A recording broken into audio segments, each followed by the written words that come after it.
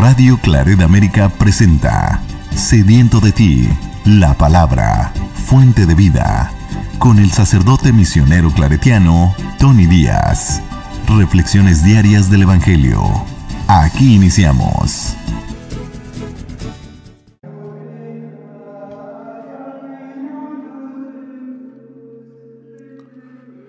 Bienvenidos hermanos a nuestras reflexiones bíblicas de las lecturas del día. Hoy es lunes de la primera semana de Adviento, lunes de la primera semana de Adviento.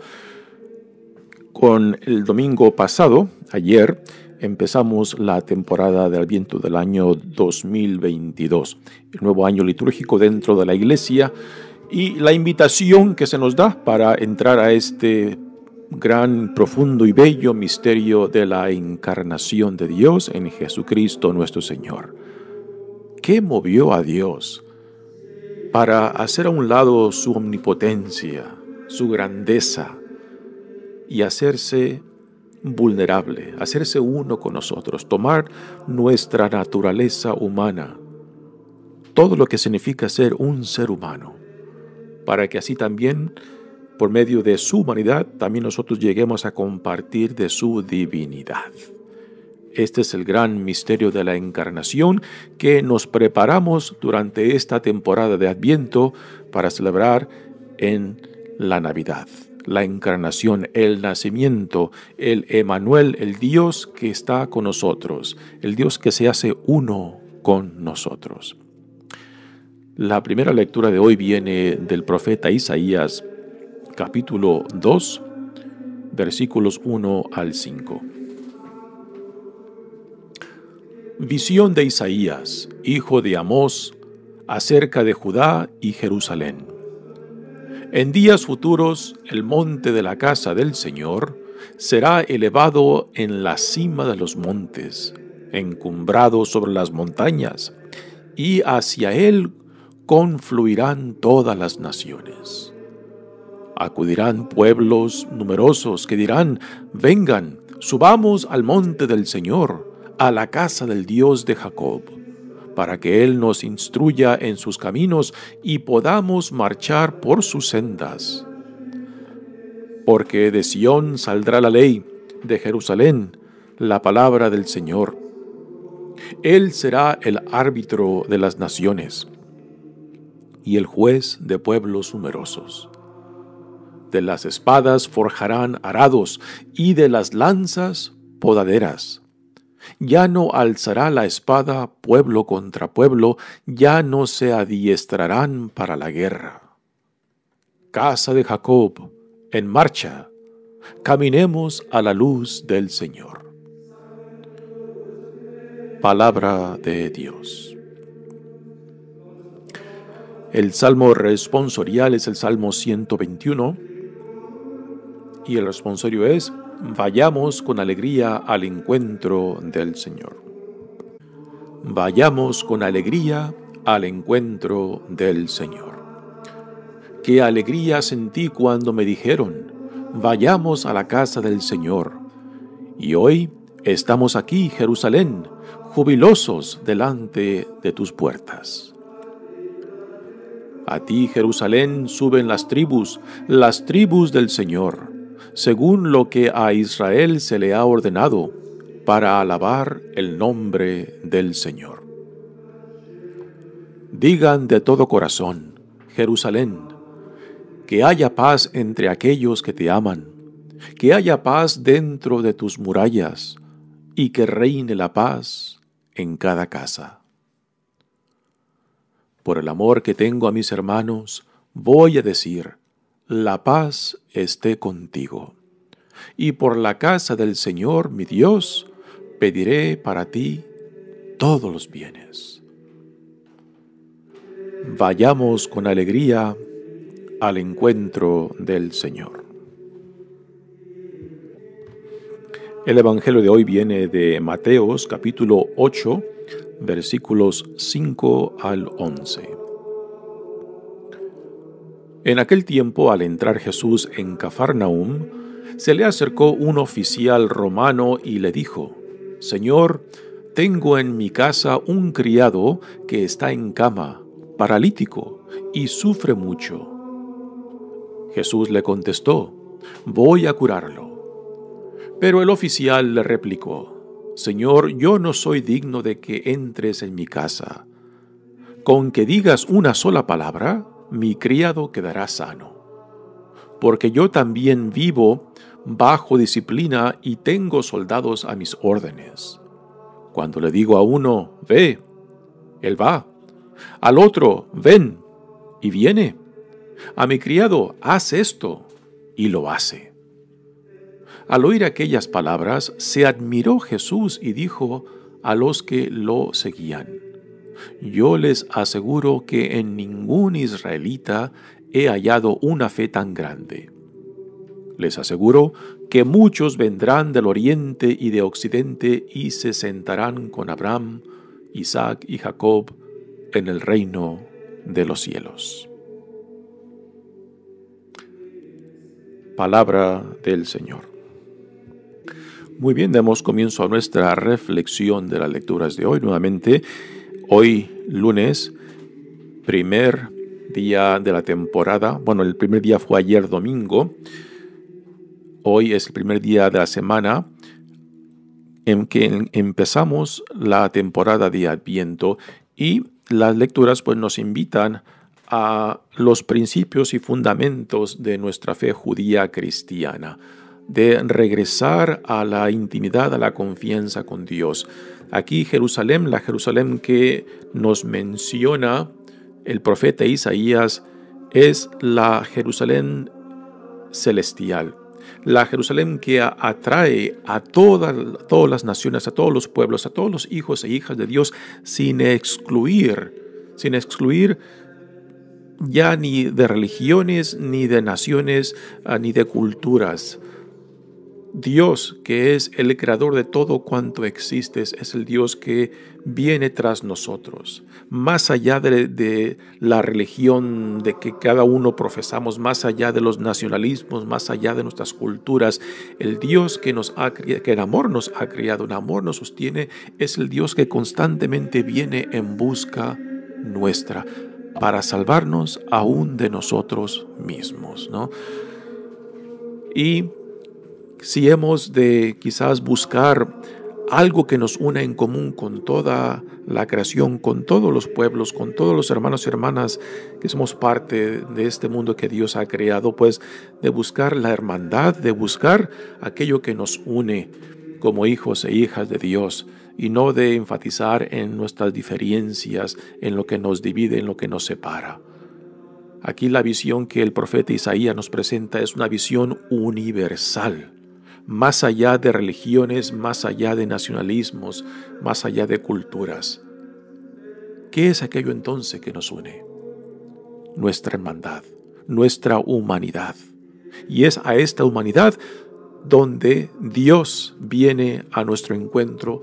Es la humanidad que Dios toma para sí mismo, para compartirla hasta la plenitud y así poder acercar a nosotros para también que nosotros nos acerquemos a Él en su divinidad. Dice el profeta Isaías, visión de Isaías, hijo de Amós, acerca de Judá y de Jerusalén. En días futuros el monte de la casa del Señor será elevado en la cima de los montes. Era muy común que muchos de los templos antiguos eran construidos en montes, en montañas, así que la gente, la gente subía al monte, al lugar del encuentro del Señor.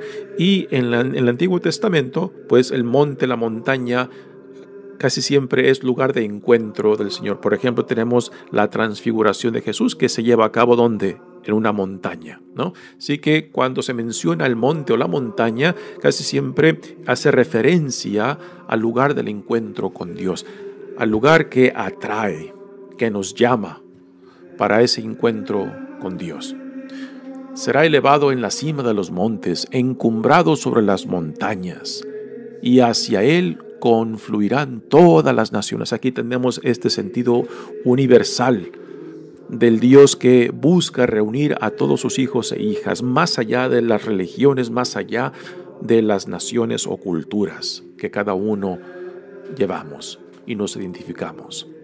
Acudirán, acudirán pueblos numerosos que dirán, vengan, subamos al monte del Señor, a la casa del Dios de Jacob, para que Él nos instruya en sus caminos y podamos marchar por sus sendas, para que Dios nos instruya en sus caminos y podamos marchar por sus sendas. ¿Qué diferencia cuando a lo que cada uno de nosotros que identificados con nuestra propia tradición religiosa a veces creamos una idea de Dios que es muy parcial a unos y contraria a otros. Por aquí el Dios que Isaías nos describe es un Dios más allá de de los perjuicios que cada una de nuestras religiones creamos cuando pensamos que Dios solamente está con nosotros y en contra de aquellos. El Dios que aquí Isaías, el profeta Isaías nos propone, nos describe es un Dios que busca la hermandad entre todos sus hijos e hijas, que busca esa base común que nos una, que nos haga ver de que somos una sola creación, una sola familia de Dios.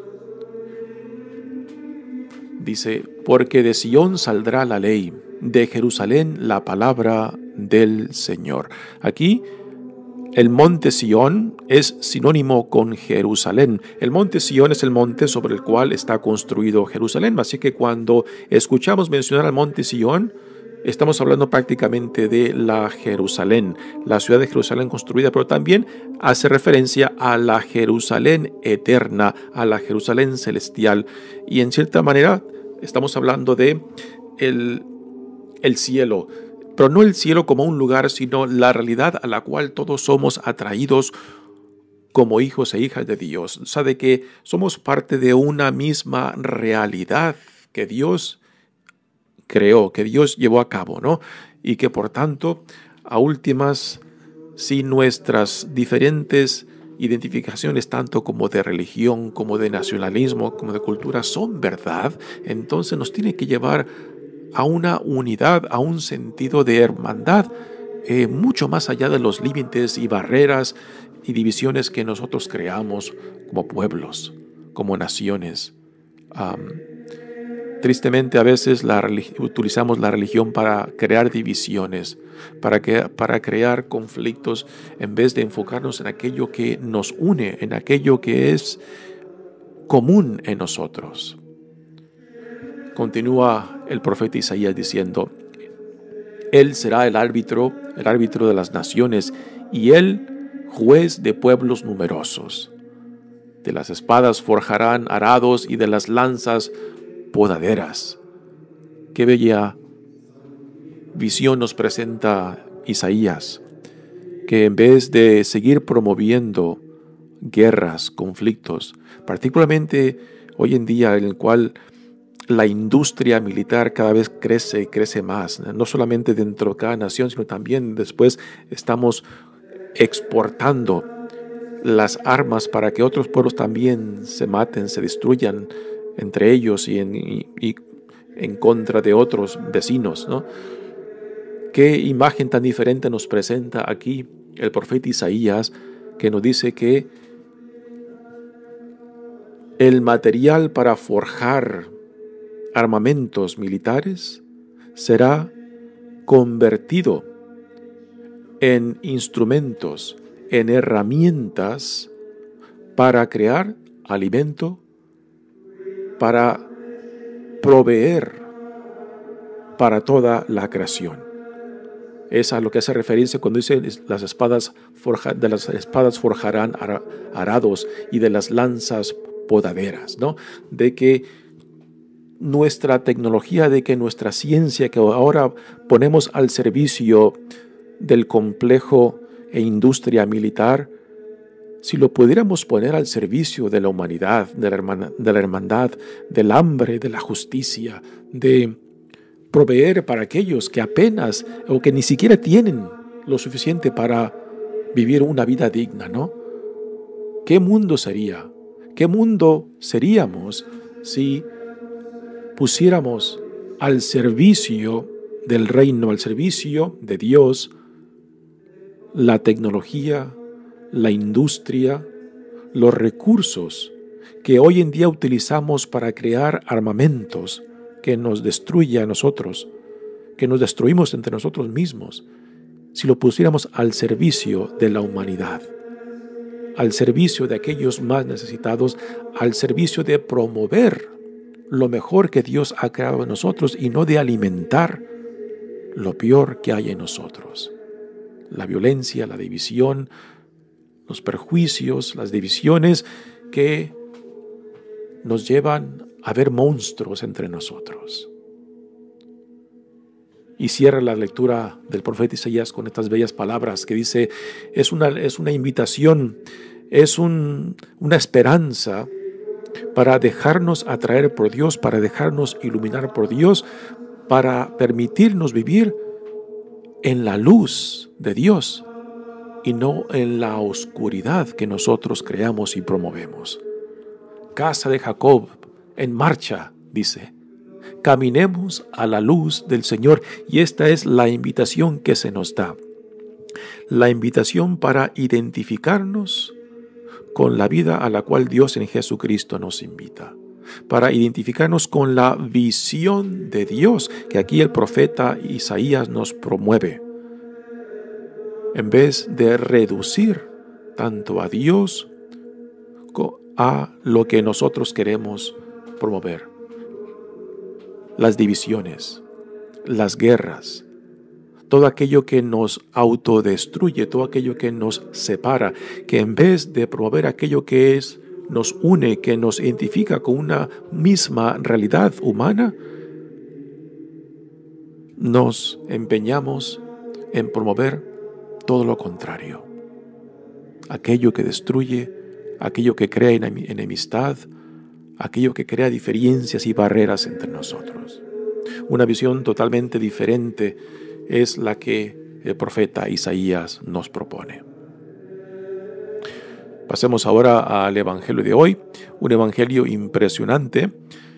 Previo a este Evangelio de hoy, Jesús acaba de sanar a un leproso y el leproso viene y le dice, le dice a Jesús, si tú quieres, tú puedes sanarme.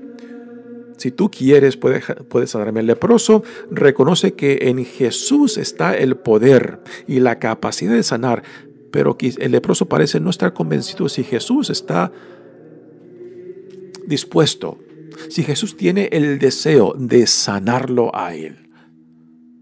Ahora, en este, en este evangelio de hoy, tenemos a un oficial romano que viene a Jesús para pedirle por su siervo. Y este oficial o romano, a diferencia del leproso de la escena anterior, cree en esa misma capacidad y poder de Jesús para sanar, pero también cree que Jesús tiene el deseo y la voluntad. O sea, el oficial romano no titubea si Jesús quiere o no quiere, lo cual el, el leproso de la escena anterior sí titubea si, si es que Jesús quiere o no quiere sanarlo. El oficial está convencido de que Jesús no solamente tiene la capacidad y el poder de sanar, sino también de llevar a cabo, o sea, el deseo, la voluntad de promover la salud, la vida en el siervo por el cual este oficial viene a pedirle a Jesús. Otro tema muy interesante es de que en esta escena ah, que se nos presenta en el Evangelio, no se nos dice acerca de la fe del siervo del, del oficial romano. El oficial romano viene a pedirle por él. Y es la fe del oficial romano y es el poder y la voluntad de Jesucristo que hace posible la sanación de ese siervo. Aquí pues entra algo que es muy común entre nosotros cuando pedimos por la sanación de otros, ¿no? cuando pedimos por nuestra fe y por nuestra confianza en Dios de poder sanar y de promover la vida, ¿no? De que es por la fe nuestra o por la fe de aquellos que piden y que invocan a Dios por la salud, por la necesidad de otros, ¿no? Así que este evangelio nos, nos confirma, ¿no? Algo que ya es muy común común en nosotros cuando invocamos la gracia de Dios, la sanación de Dios por otras personas, por, por nuestra fe y confianza, ¿no? aparte de la fe o no fe o estado espiritual de aquella persona que tiene la necesidad o que está sufriendo. Que la fe nuestra, la fe de aquellos que lo invocan, la fe de aquellos que dicen, Dios te puede sanar y Dios te va a sanar. Y aunque nuestra petición sea esa, pues siempre lo dejamos a la voluntad de Dios. Que si Dios lo haga posible o no, no lo haga posible, eso eso ya es, por es la voluntad de Dios y a últimas tenemos que, que hacer la paz con eso, ¿no? De que nosotros con fe podemos acercarnos a Él y a últimas es la voluntad de Dios, si Dios lo concede o no lo concede. Y con esto tenemos que hacer la paz, decir, alabado sea el Señor porque llevó a cabo esa, esa, esa sanación, esa, esa petición, o si Dios se mantiene en silencio, si Dios no lleva a cabo esa petición, igualmente decir, alabado sea el Señor, pues en la mente del Señor, en la voluntad del Señor, Él sabrá el porqué de las cosas. Nosotros no sabemos el porqué de las cosas, pero igualmente nos confiamos que en la sabiduría, en, en el plan de Dios, las cosas son como son porque Dios así la determina. Así que el Evangelio dice, en aquel tiempo, al entrar Jesús en Cafarnaum, se le acercó un oficial romano y le dijo, Señor, tengo en mi casa un criado que está en cama paralítico y sufre mucho.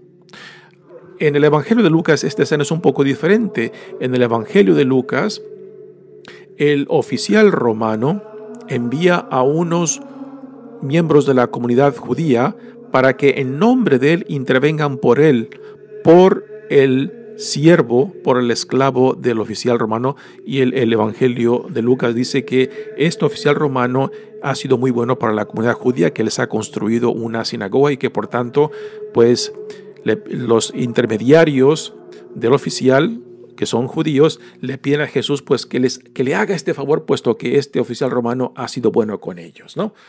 En el caso de Mateos, no, es el oficial quien directamente viene y hace presencia ante Jesús y le pide por su siervo o esclavo. Y Jesús no titubea, inmediatamente le dice, voy a curarlo. Lo cual es muy interesante porque, según la ley levítica, pues un judío no podía entrar a la casa de un no judío puesto que al entrar en la casa de un no judío o de un gentil o pagano, pues el judío quedaba ritualmente impuro y Jesús para Jesús esto no parece ser un obstáculo. Inmediatamente se quiere poner en dirección de la casa del oficial y es ahí cuando el oficial lo detiene y quizás por la sensibilidad que el oficial conoce del rito y de las expectativas judías de que un judío no podía entrar a la casa de un de un no judío o de un gentil, el soldado le dice, no te molestes, no quiero que por mi causa y por la causa de mi siervo tú quedes impuro ritualmente. Y aquí la lógica del oficial romano es impresionante. Le dice, Señor, yo no soy digno de que entres en mi casa. Con que digas una sola palabra, mi criado quedará sano. ¿no? Y ahora la lógica de este oficial romano la amplía cuando dice, porque yo también vivo bajo disciplina y tengo soldados a mis órdenes. Este oficial eh, puede ser quizás tener el rango de un general que tiene por lo menos, nos dicen los comentaristas, unos 100 o más soldados bajo su orden. Y él como oficial o quizás como general pues está bajo la autoridad de otros superiores a él, ¿no? Y que por tanto la disciplina, la disciplina era importante. Esto es algo que hizo posible el, que el imperio romano ah, creciera y triunfara sobre el imperio griego y otras naciones de aquellos tiempos.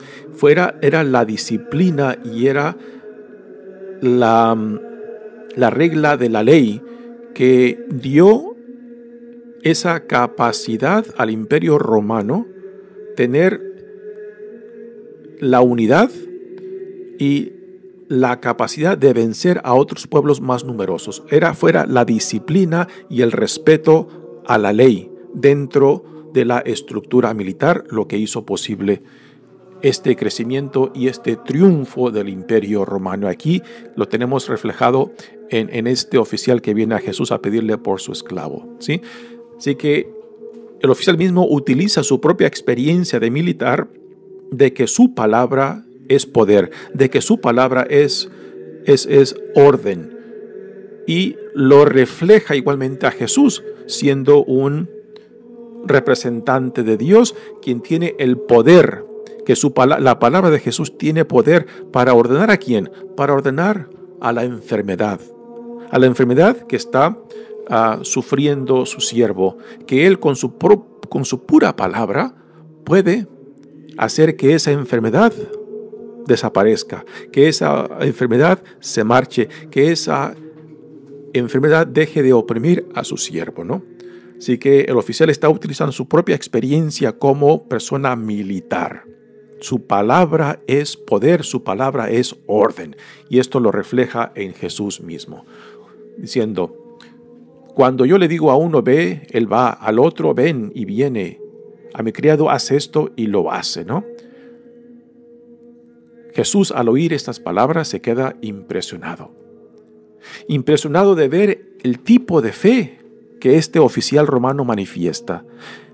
Hay solamente dos, ocasiones que, en las que Jesús se queda admirado eh, por la fe de dos de, personas que él, con quien él se encuentra. Una es esta con el oficial romano y otra es con la mujer sirofenicia en la parte de Ciro y la parte de Tiro y Sidón junto a la costa del Mediterráneo donde otra mujer no judía viene y le pide por su hija, ¿no? También en esa ocasión Jesús se queda admirado de la fe de esa mujer, ¿no? Así que en una forma positiva Jesús se admira por la fe que ni siquiera entre su propia gente, propios judíos, él ha encontrado y que la fe esta la ha encontrado en no judíos, en gentiles o paganos. Sin embargo, en la forma negativa, Jesús se queda admirado por la falta de fe que él ha encontrado entre su propia gente. Es una admiración en forma negativa, pero aquí la encontramos una admiración en forma positiva de cómo Jesús admira, admira la profundidad de la fe de este oficial romano. Y al decir esto también tenemos que em, decir algo acerca de quién es este hombre oficial romano, ¿no? Este hombre oficial romano pues representa a la autoridad romana, representa al imperio romano y a las fuerzas armadas del imperio romano que están oprimiendo al pueblo judío. Ahora, no podemos pintar con brocha gorda de que todos todos aquellos que representan el imperio romano eran malos, eran, eran opresores, ¿no? Em, según el Evangelio de Lucas, este mismo oficial pues tenía cierta sensibilidad hacia el pueblo judío y los trataba con dignidad y justicia y que aún él mismo ah, les había construido una sinagoga, ¿no? Así que tenemos aquí en el ejemplo de este, de este oficial romano, pues una persona que representa al imperio que está oprimiendo militarmente, políticamente, económicamente al pueblo de Israel. Pero aún representando este imperio, esta, esta opresión, pues en este oficial romano hay algo que lo ha movido a acercarse tanto a Dios como a Jesús. Y que por tanto no podemos pintar con brocha gorda aún aquellos a quienes identificamos como nuestros enemigos, ¿no? El poder del Espíritu Santo va mucho más allá de nuestros perjuicios, de nuestras ideas, de cómo nosotros definimos o no definimos a otros, ¿no? Y esto debe de ser una gran enseñanza, ¿no? Para no dejarnos o no reducir ni a Dios ni a otros a nuestros perjuicios, de no dejarnos o no permitir que pintemos con brocha gorda a todos según nuestras ideas, según nuestras conclusiones, según lo que pensamos de grupos. Y al pensar o llegar a ciertas conclusiones, ¿no? Los pintemos con esa brocha gorda que todos son iguales, ¿no? Igualmente aquí Jesús podemos ver que eh, Jesús no se permite pintar con esa brocha gorda, ¿no? Pues el hecho de que no se resistió a la petición de este oficial romano porque ni siquiera titubea para decir no puedo o no quiero, sino se pone se pone al servicio de este hombre que viene con esta petición, ¿no? Y después se queda admirado de una fe que ni entre su propia gente, ni entre su propio pueblo, pueblo judío, él ha encontrado. Así que aquí Jesús mismo nos enseña esta apertura de mente, esta apertura de corazón, esta apertura del Espíritu de Dios que sopla por donde Dios quiere y no por donde nosotros queremos manipularlo. ¿no? Jesús mismo en el Evangelio de, de Mateo dice que Él ha sido mandado para, para las ovejas descarriadas del pueblo de Israel. Pero aquí Jesús mismo se encuentra sorprendido de que el Espíritu de Dios va mucho más allá de donde él mismo pensaba, que solamente tenía que ir a las ovejas descarriadas del pueblo de Israel. Y aquí tenemos al Espíritu de Dios presente y manifestado en una persona, en un hombre que ni siquiera es judío y que representa a este poder del imperio romano que está oprimiendo a su propio pueblo. Y sin embargo Jesús está abierto a esa realidad del Espíritu presente en él.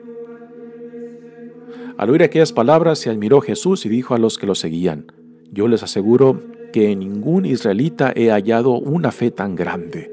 Les aseguro que muchos vendrán de oriente y de occidente y se sentarán con Abraham, Isaac y Jacob en el reino de los cielos. Aquí, al igual que el profeta Isaías en la primera lectura, Jesús nos presenta esta visión universal. Quizás los primeros cristianos no tenían ni siquiera una idea de lo que llegaría a ser este movimiento que Dios en Jesucristo había empezado, ¿no? Tan solo con considerar cómo está compuesta nuestra iglesia católica, ¿no? La, inmensidad de, de, culturas, de lenguas, de naciones que somos, que somos parte de esta fe cristiana, ¿no? Y que considerando que empezó con esta semilla, en un hombre y después en esa pequeña comunidad, ¿no? Y aquí hoy en día estamos viviendo la realización de estas palabras de Jesús.